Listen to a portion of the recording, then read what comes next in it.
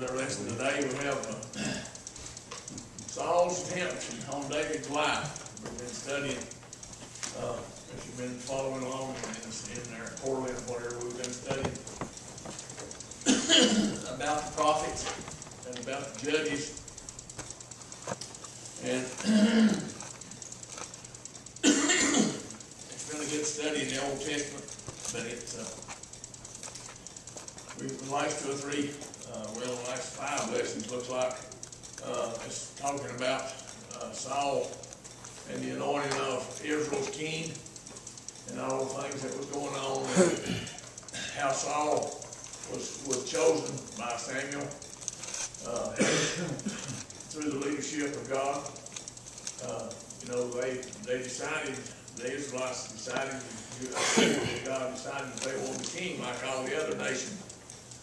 And God decided he was gonna give him a king, but he was still, the king was still under his rule and reign. It wasn't just, you know, he wasn't just like all the other kings.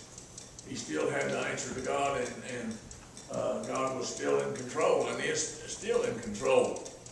But we see here, as it went along, uh, God chose Saul, Samuel anointed him and made him king, and things went along pretty good for a while. But Saul began to, uh, I'd say, well, uh, like a lot of us, or like a lot of other people, when, when they get a position and when they get to where they, uh, think they've got, uh, rule total, uh, over a situation, you know, they begin to puff up and get, uh, kind of excited with themselves.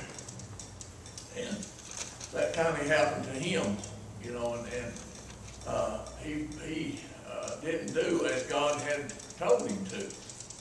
Uh, there was a time when they were out fighting, uh, one of the, uh, nations around them, and God told him to just completely destroy him. And he did. He kept, uh, some of the stuff, he kept the king alive and brought him back to Jerusalem or, uh, back to where his, uh, uh, kingdom was or where his house was, his palace or whatever. And here God told him, you know, that he had messed up. Samuel, he sent Samuel to him and let him talk to him about what he had done and the consequences of it. And things began to go downhill from there for Saul. You know, and he, uh, God told him through Samuel again that, uh, he was going to pick out another king, that his rule wasn't going to go on, that he, when he died, his kingdom would, and his rule would end. And we see that, uh, Samuel went looking for another king for Israel. And he went and found David. And we know the story of David and, and how he was out, a shepherd boy out in the field, and Samuel went and asked the fellow if he had anybody, and he talked to all of his sons, and he said, do you have any more? And he said, yeah, I've got one, and he's out in the field working. So he went and talked to him and, and chose him as, as Israel's next king while he was still yet a young boy. And he went to live in the palace and learned the ins and outs and whatever, and as he grew and as he grew in stature, you know, and they called on him to be a champion for the, the army, and he went and killed Goliath, as you know. And as he lived and as he grew and things, he became more popular and began more in stature and began to serve and follow God and was blessed in about everything that he did. Every way that he God was, was merciful unto him. And so Saul, you know, all the time, he was looking and trying his, you know, trying to figure out some way to get rid of David. After a while, he began to see how much more popular David was than he was, so he began to try to get rid of him. So, here, uh, we see, uh, an episode, David had just come back from, from the Philistines in chapter, in, uh, First Samuel nineteen and eight, and it says, and there was war again, and David went out and fought with the Philistines and slew them with a great, with a great slaughter, and they fled from him. Here, uh, from, from the time that he killed Goliath, and all the things that was going on, like I said, God blessed him, and, and everything he went out to do was blessed. Ever, every, uh, uh, battle that he was in, uh, all the stuff that he done, you know, and, and the way that he fought and the way he, uh, uh, began to learn about how to lead and his leadership in the army, you know, it, it was blessed and it was good. And he says, and the evil spirit from the, uh, from the Lord upon, was upon Saul, he said in his house, his hand his hand, and David played his hand. Here, when David would go out and fight, Saul didn't go out and fight anymore. You know, he, he went out a time or two with David, and, and then when he came back, uh, the people, uh, as they went by, you know, they, they sang praises of Saul, you know, and they, they, uh, one place it said there, they, uh, Saul has killed his thousands and David has killed his ten thousand, you know. So they were, all the time, they were, uh, raising David up above Saul. And it says here, an evil spirit was upon Saul. He, he, he got envious of David and was trying his best to get rid of him. He, he put snares in his way. He even, uh, uh, gave, uh, his daughter to David from, uh, for a wife. And he figured out, you know, he, he thought that she would be true to him instead of David, and that would cause him problems. But, uh, even that didn't work, as we read on down, uh, into the, uh, the uh, lesson today. And when David would go out and fight and whatever, and when all, of this spirit would come on Saul, and he was uh, tore up and, and things were bad, and David would go in and play his lyre, you know, he, he was, uh, he was a good musician. He, he could sing and whatever, and he would go in and entertain Saul, and this would help him and, and get him off of these, uh, uh, depressed situations that he was in. And here, he says, uh, he went in and, and David played with his hand, and Saul to smite David even to the wall with a javelin, but he slipped away out of Saul's presence, and he smote the javelin into the wall, and David fled and escaped that night. Here we see that it had come down, he was, uh, for a long time, he was trying to do things against David kind of on the sly, you know. Just a little bit here, a little bit there to disclaim him and, and to tear him down and whatever. But it got to the point that he actually wanted to kill him. He wanted to get done with him, that he was, he was not going to, uh, just, uh, uh, play along anymore. And here, when David came in this time, Saul was sitting there with his javelin in his hand, and David was playing and whatever, and evidently, uh, he threw it at David, and David, uh, slipped around and, and got out. He was able to move and get away, out of the, out of the way of the javelin. And it said he stuck it into the wall, and David fled. You know, this was the ultimate trying to kill him. He was aiming to, and he was working on it, he'd been thinking about it a long time. You know, but here, as we see, David was, was, uh, in, in one place a little bit later on, you see, uh, written there that David was a man after God's own heart. You know, he wanted to do, and he, uh, in, uh, the most of his life, he did things according to the way God wanted them done. You know, that was his strong suit. You know, you can say what you want to about David, about him being a strong man and whatever, but when you, when you basically run it down, he was still in touch with God everywhere he went. You know, even when he was a small boy out in, out in the wilderness trying to keep the sheep and animals and stuff and, and whatever, God, uh, uh, protecting him from the lions and the bears and all the stuff that was out there, you know. And, uh, everything that he did, as I said before, everything that he turned his hand to prospered. You know, and, uh, God was, was, was blessing him as he traveled along. And here, in, in this part, he got away from Saul. Saul carried it a little further though, and he knew where he lived, and said Saul also sent messengers unto David's house to watch him and to slay him in the morning. And Michal, Ma- Michal, David's wife, got, told him, If thou save not thy life tonight, tomorrow thou shalt be slain. She woke up, David, evidently some of Saul's, uh, other folks had sent word to her that, that he was after David, and he was gonna kill him. You know, and he was forewarned. And here, you know, uh, God in, in his wisdom and whatever, he knew that, that Saul was on the way. and he, he, he fixed it to where David could be warned and that he could get away. You know, a lot of folks says, well, I don't see why he just didn't stand by. God was, was, uh, you know, was taking care of him and it- he wouldn't have been killed anyway. But you know, God's will sometimes allows for us to, uh, take a path around something, you know, and let him work and let his glory be seen throughout his work. David could probably have killed everybody that come down there. Know that. But it wouldn't have been the way God planned for it to be. God promised, or God let Saul know that his kingdom was good as long as he lived. You know, and that he was going to be king. But, uh, and, and, and Saul knew, as well as David, you know, that this was going to change. When that, when Saul's life, when he come right down to it, and he died, his kingdom wasn't gonna travel on, but David would become king. So David wasn't worried about who he's gonna to fight against or whatever, you know, he, he knew that, uh, that the battle had already, already been won, so he didn't have to fight. But anyway, his wife told him, said, uh, that these fe- fellas was coming to slay him in the morning, says, if thou slay not thy life tonight, tomorrow thou shalt be slain. So my, my, Michael, Mitchell or whatever, let David down through a window and he sent, and he went and fled and escaped.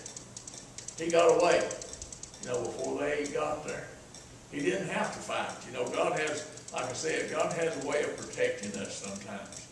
You know, there's a lot of times that, uh, where we go and what we do is, is, uh, led by God.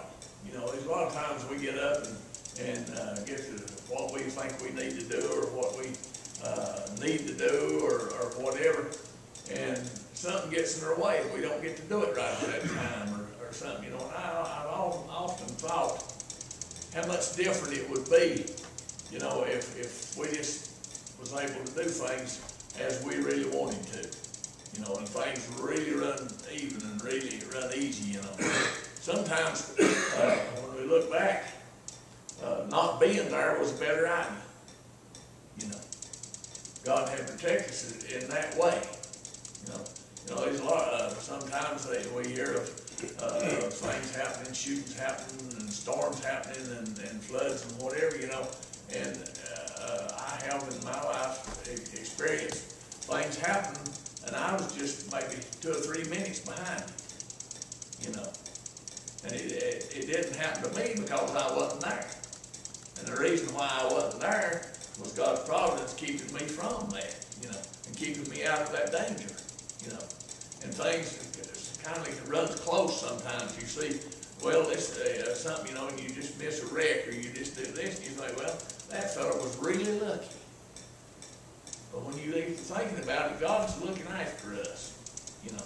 It's like we see here that he was looking after David. It wasn't, uh, it wasn't his will for him to be there. So he moved him, you know, and he was protecting him in that way. And, and it says, and, Michelle took an image and laid it in the bed and put a pillow of goat's hair for, for his bolster and covered it with a cloth. And when Saul's messengers came to take David, she said, he is sick. She built a, a dummy, put it to bed, pretty much what that says, you know. She took a, uh, I was reading over in the thing here, over in the uh, quarterly, talked about she might have been serving another god. You know, they was, they had integrated some of the gods around and about Israel at this time, and, and, uh, they, some of them had statues bust about almost the size of a human person. And he said that she took this and laid it, uh, in the bed and, and put goat hair around it to where it looked like a man's head sticking out, you know, so when they looked in there, they thought it was him. Saul sent the messengers again to see David, saying, Bring him up to me in the, in the bed that I might slay him. Here, Saul has made the decree. He tried to kill him with a, with a, with a, with a uh, javelin, and he missed. But now he, he has revealed his ultimate plan when he threw the javelin. That, that removed all doubt of what he was aiming to do. So it wasn't no use for him to kindly hide anymore, and he sent him back and said, come get him. If you're too sick to get out of the bed, just bring the bed on and I'll kill him in the bed. It makes no difference to me, I'm going to get rid of him. And when the messengers went and come, and behold, there was an image in the bed and a pillow of goat's hair for his bolster. Like I said, she fixed a dummy. Hey, while they was running back and forth and, and going back and forth to you know, the messages back, this was giving David time to get away all the time, you know. She was working it really well. God, in, in his wisdom, like I say, has, was protecting him and looking after him. And Saul said uh, to, to Michelle, why hast thou deceived me so and sent away mine enemy that he is escaped? And Michelle answered Saul, he said unto me, let me go, uh, why should I, uh, why, why should I kill thee? Here she told Saul in order to save her life. No, she was, she was, uh, uh, true to her husband, looking after him taking care of him.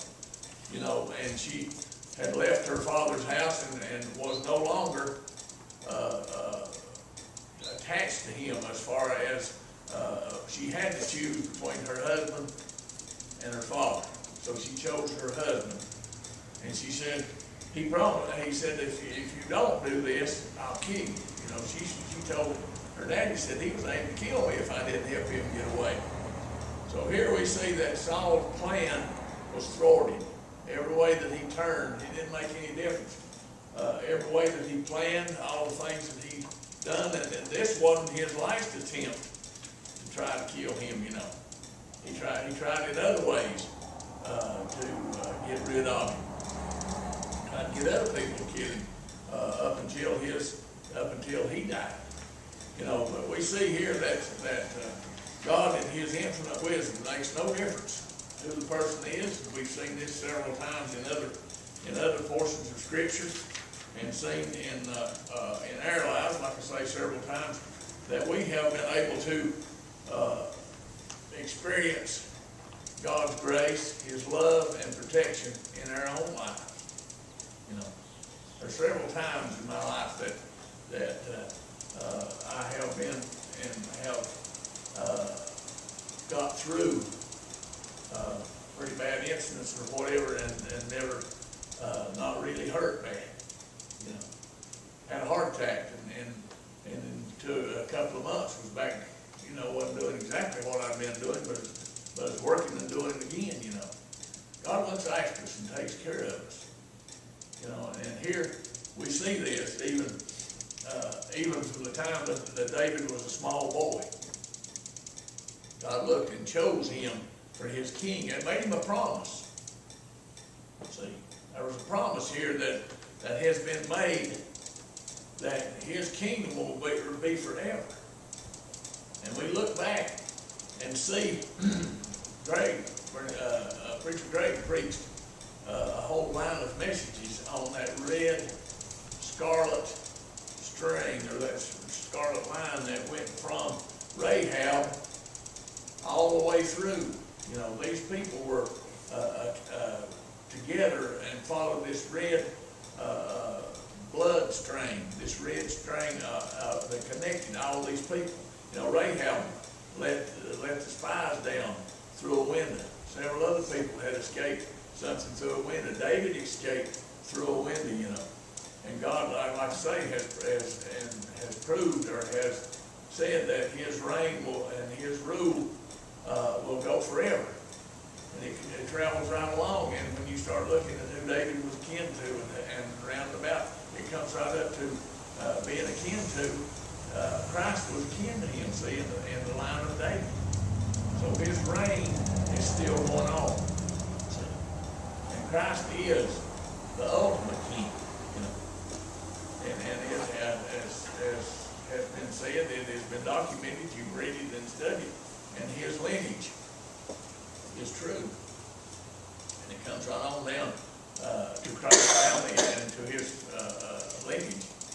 And we see here that, uh, God has taken care of it, and when it comes time, you know, for, for a person to leave, God, uh, uh, calls them home. Know, any other time up until then, uh, nobody let hand on. When Christ was here, you know, he, he, he come and preached and had his ministry and whatever, and he was, he was out there preaching for three years, uh, a bigger part uh, of that time. And all that time, they were trying to kill him. You know, they were looking some way to get rid of him. Didn't make no difference. They were looking to get rid of him. But they couldn't do anything with him till it came time. God is always, always has, always can, and always will be able to take care of his people. We look around and, and think, well, uh, this virus and stuff that is here. I heard a, a fellow talking this morning, you know, uh, about this virus and the things that are happening around and about, and, and he likened the Christian people of today, uh, uh, to the Israelite people in, uh, uh, in Egypt. When all the plagues and stuff was going on around and about them, you know, they lived in a place called Goshen.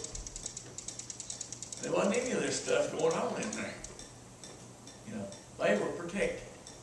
God's people were protected. There wasn't no frogs. There wasn't no darkness.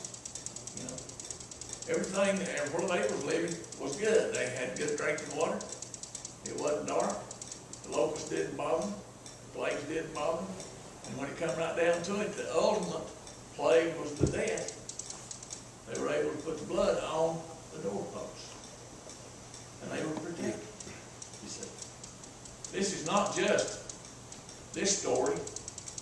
You know, it's been running a long time, ever since God spoke the earth into existence. Ever since he put Adam and Eve here. God has a plan. And it always works. He has a protective plan that he takes care of and looks after his people.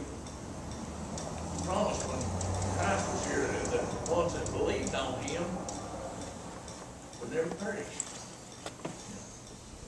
He's gonna look after them, take care of them. Christian people, even if they die, they're still taken care of. We see this as, as we look back and study the time. The Jewish aspect of this, I like to read this, and, and uh, we will close with this, but I, I like to read this Jewish as, aspect of it. It shows how this run through uh, uh, the, the Jewish people. Moses knew the time would come when the Israelite people would desire a human king. In Deuteronomy 17, 14 through 15, he gave the nation instruction concerning their future king. The instruction included regulations that forbade, the accumulating of large stables and horses, of taking too many wives, and of accumulating large amounts of silver and gold. The instructions directed them to stay true to God's commandments. In Samuel's lifetime, the fulfillment of Deuteronomy 17 came, came to fruition through the man Saul. Although the people asked for a king like all the nations, an Israelite king was supposed to be a model for the rest of the nations to emulate and was not to be like kings of, other nations. Israel's king was to have real power and tremendous responsibility so that the other nations would emulate him as a leader and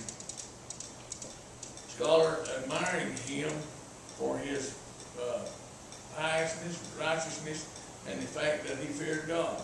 History, let's see, he was to be morally higher than those around him. God held him to higher standards than other people and placed higher consequences on his indiscretions. Saul became the first to enter the difficult position of king of Israel.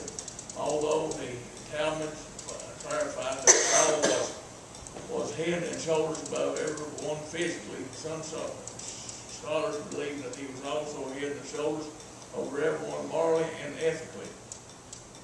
Yet Saul had several flaws that characterized his, that characterized his reign. This week's lesson paints an unpleasant picture of Israel's first king, overcome by a, a tormenting spirit. Saul tried to kill David with a spear. When he failed, he sent troops to murder him. The Bible portrays Saul's life as full of disobedience and bad choices. Perhaps one of the biggest mistakes was he refused to obey God's command completely. For example, God declared that Saul was to select, so select, was to settle accounts with the nation of Amalek uh, by completely destroying the entire nation. Saul slaughtered captured Agag, the king, and spared his life. Although Samuel later, later killed Agag, Saul's incomplete obedience to God's command, God's command had severe re- repercussions. The Bible tells us that David later had to fight the Am- Amalekites. Not only did Saul's disobedience affect his na- his nation following his reign, but centuries later, his disobedience may still have been been affecting the people. The Bible re- records that the, uh, villain Haman, H-A-M-A-N, who appears in the book of Esther was an Agagite, possibly meaning that he was a descendant of King Agag. Uh, Haman attempted to uh, annihilate the Jews in Persia. In the story of Esther, Haman tricked the Persian king into issuing the command that all Jews in the kingdom be killed. Esther, the king's, the king's Jewish wife, had to make a difficult decision that placed her in life, in, in a life jeopardy position. In an act of immense uh, bravery and obedience, Esther pleaded her case to the king. Her courage saved the lives of Jews while Haman and his sons were executed. Some rabbis trace Esther and her cousin Mordecai and image back to King Saul. Certainly, whatever we think of what, of that, we, whatever we think of, of that, we can appreciate the, the principle of delaying or turning from past sins into genuine repentance. As Christians, we need to obey God carefully and pray that He will give us the power to generally, to genuinely repent from sins we commit. Here- we see, as I was talking there a while ago about this lineage and about this line that traveled, you know, this bloodline that God set up. It has traveled his, his his repenting, uh, ability to let us repent, his, uh, sacrifice, uh, to enable us, you know, to come back into, uh, repentance and into communion with him. You know, he fixed all this, you know, and it worked out. You know, and he, he, a lot of folks say, well, Old Testament's just history or whatever, but it shows us, you know, that, uh, we as people, it don't make any difference if it's twenty ten or if it's nineteen, uh, uh, or if it's five hundred BC. People are hard-headed, you know, and they don't believe God's word. I mean, they just don't. And here, you know, he gave his people, he used them, he chose them as his people. And he used them as an example of following him having a good life. You know, when, when his people, from, and, and when, uh, even in Genesis, when Adam and Eve done what he said, they had, they had it perfect. I mean, they didn't have just a good life, they had it perfect. The sin destroyed them. And all it runs down a little further, you know, and when he began to work with the people and began to uh, show himself through the Bible and through the writers, you know, uh, he began to show that it's better to obey than it is to ask forgiveness. You know, it's better to obey. Things work better. He likes the people to obey. He takes care of them if they will. You know, we see this throughout several writings. And, and all this, you know, is, is for, uh, uh, an example to us, you know. It's better to obey. You know, Things works better if you do it his way. Anyone else got anything to say about, uh, the lesson today? Appreciate y'all coming out. Uh,